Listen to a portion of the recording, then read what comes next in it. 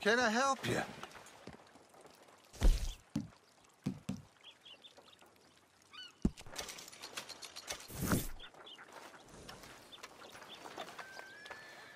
I'm here if you change your mind.